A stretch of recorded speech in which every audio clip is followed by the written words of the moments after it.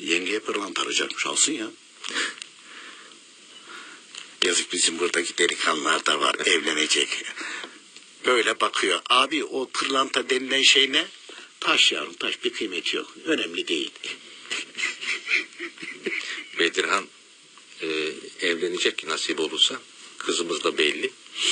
Geçen babasıyla bir sarrafa girmişler. O kadar hızlı çıkmışlar ki. Tarif edemedi bize. Allah sana yer yardımcısı olsun. Evlenecekleri Cenab-ı Hak yardım Her eder. şey çok pahalı Bedirhan. Peki e, bu pırlantayı taksitle de almak caiz mi? Caizdir. Çünkü altını altını e, altınla veresiye satmak ve almak caiz değildir. Ama kağıt parayla taksitle de almak caiz.